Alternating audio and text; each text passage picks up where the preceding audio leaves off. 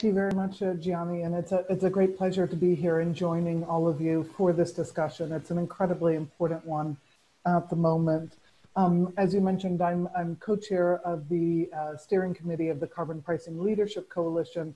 So what I want to speak to a little bit today is really how carbon pricing and some related policies can help us to build back better, including to roll out much more quickly um, uh, solar development uh, globally for all the benefits it brings in terms of low cost and accessible energy, um, in terms of a clean environment and avoiding some of the major risks from climate change uh, and air pollution that we see already hitting uh, communities and people around the world. So next slide, please. Just next slide, please. Yep. Thank you. Just very briefly on the Carbon Pricing uh, Leadership Coalition, it's really a group of leaders from government, business, and civil society and academia they come together to support carbon pricing, share experiences, both the good and the bad, and learn how to spread and increase the use of carbon pricing globally. Um, it's uh, what we've done through the Leadership Coalition has helped to build a strong evidence base of lessons learned, uh, some of the challenges, and the other experiences to inspire and inform action um, and advocate for the principle of uh, pricing carbon uh, building on experience we see around the world. So there's a link there. There's a wealth of materials there from the public sector, the private sector, from investors on how we can implement carbon pricing and do it successfully in a way which benefits people, um, uh, that uh, in particular poor and uh, low income and uh, um, other communities, uh, but also in a way which actually achieves the economic and the environmental goals that we have. Next slide, please. Thank you. And I will say just briefly, I um, on the CPLC, I'm going to have to leave fairly promptly at 10 o'clock this, uh, this event because there's a high level event at the CPLC happening. Um, and you can follow that if you're interested on World Bank Live, where leaders will be discussing further the role of carbon pricing in the economic recovery. But let me say a few words about what we've seen in terms of the economic recovery and what we need to do. There was a, a, a fantastic uh, paper just recently released by Cameron Hepburn, Joe Stiglitz, uh, Nick Stern, and others, which really surveyed uh, 231 central bank officials, finance ministry officials, and others, and, and said, you know, what are the elements that governments can use in terms of economic recovery, which will both have strong economic multiplier effects, right? Benefits for the economy, benefits for jobs, and also benefit uh, the climate. And they came with a list of five. And I wanted to highlight these five here because two of these relate very much to solar energy development and deployment. So first, um, uh, first uh, clean physical infrastructure investment. So that's very much uh, uh aligned with uh, solar deployment. And they highlight there a number of different ways that governments can actually help push us forward, including de-risking private investment, um, uh, such as through um, uh, competitive auctions for solar, uh, uh incentivizing um, or investing directly in support for uh, transmission and distribution uh, for energy. Um, using development fi finance institutions such as the multilateral development banks to support the, the rollout of solar and fast tracking permits so that we can ensure that there are projects that are shovel ready uh, to go now for the investment that we're seeing coming forward uh, for economic recovery. So that first one, clean uh, physical infrastructure investment is obviously one of the key ones, and it delivers both economic benefits, um, jobs, and also uh, uh, um, climate benefits. A second one is building efficiency, not a surprise probably for many on this call. Uh, again, a lot of benefits from that.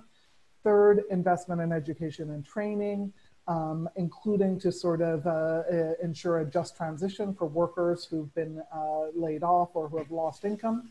Um, fourth, natural capital investment uh, to, to build ecosystem resilience and regeneration.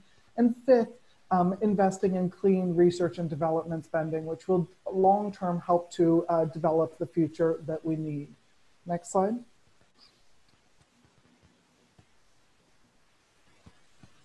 Thanks very much. And this just, uh, this sort of shows graphically one of the points that you made, uh, Gianni, at the opening remarks. Thank you very much. I mean, one of the things we have seen, which we should uh, should be a lesson that we take into uh, economic recovery from this crisis is just that investments in renewable energy and energy efficiency tend to generate much more jobs than the same level of investments in fossil fuels. So, for example, in the US, we know that they generate about double the amount of jobs as the same investments as you would have in uh, fossil fuels. Um, so, significantly better. This graphic shows, um, shows the results across a number of countries, primarily the OECD developed economies. But again, you can see that in terms of both the direct jobs and the induced jobs, you've got uh, strong benefits from investing in solar PV. Um, that's particularly high in terms of induced jobs, but also the direct jobs and energy efficiency um, and wind. So much better uh, solutions than investing in coal or gas if your intention, as for many countries it is right now, is really to generate jobs and income to boost our way out of this economic uh, um, uh, challenge, challenging period. Next slide.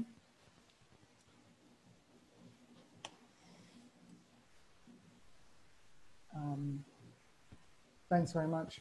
So in this context, um, uh, in terms of carbon pricing, there's a couple of things that I did want to mention here. One, um, carbon pricing can help with the sort of risk assessment of investment portfolios so that investors are much more aware of the risks associated with their different investments, where high carbon uh, investments can actually lead to, uh, to financial risks. Um, and as they start to do that, that is something which will start to favor renewable options over fossil fuels, providing an incentive for investors to shift there.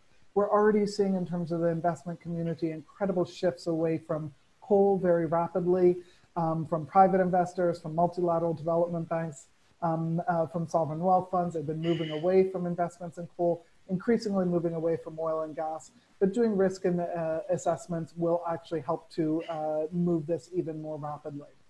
Um, second, an important aspect is the revenues that are generated through carbon pricing instruments, which can be really um, instrumental as we look to make major infrastructure investments now. Um, we've seen uh, governments around the world have committed to at least $9 trillion in investments in terms of uh, COVID 19 response and then economic recovery. It's likely to be even more. So any revenues that we can generate through instruments like carbon pricing or through reform of fossil fuel subsidies will both help to um, address uh, the fiscal gap that we're going to have, but also create the right incentives to actually move more rapidly towards a low carbon uh, economy and expand the use of renewable energy. Um, and then third, uh, carbon pricing and other policies can really help to highlight and support investment in areas that actually deliver these better results, as we said, both in economic terms and climate metrics and actually social metrics as well. Um, at the moment, we have a large number of people who are dying prematurely each year from air pollution, um, shifting away from fossil fuel use, which makes up the majority of uh, the origins of that air pollution is one way to actually help address that um, global uh, health crisis uh, in terms of air pollution. Next slide. So in terms of uh, making sure that the investments in infrastructure we put in place as part of the economic recovery really have lasting effects, we need to make sure that we've got the right policies there to accompany these uh, to ensure that. So one um, that we would call for is disclosure of climate related financial risks. This is something that the task force on climate related uh, uh, financial risks have, have uh, put forward some recommendations. A number of companies and investors are now using those. That's the TCFD. But let's ramp those up even more rapidly at this time to make sure we're not making risky investments. This is especially important as uh, countries around the world look at uh, potential bailouts as part of the economic recovery. Wherever these are done in terms of industry bailouts, particularly high carbon industries, there should be a requirement to disclose the financial risks um, uh, related to climate impacts there. Um, second, fossil fuel subsidy reform. Uh, the latest data from OECD and IEA suggests that uh, fossil fuel subsidies, either to production or consumption, uh, directly or through tax breaks amounted to $478 billion in 2019. It's an enormous amount. If we were able to actually get rid of those inefficient and often ineffective subsidies, um, that's a lot that governments could deploy towards other purposes. And then finally, of course, as I mentioned, uh, carbon pricing, which has a great potential to raise revenues um, in 2019. Uh, the carbon pricing initiatives we had globally raised $45 billion in revenues. There's potential for a lot more as we further expand those.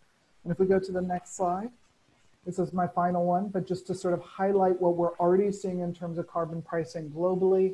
Um, at the moment, we have 79 countries or subnational states or provinces that are applying carbon pricing globally or about to start. They have it planned for the next uh, year or two years. Overall, this covers about 22% of global greenhouse gas emissions.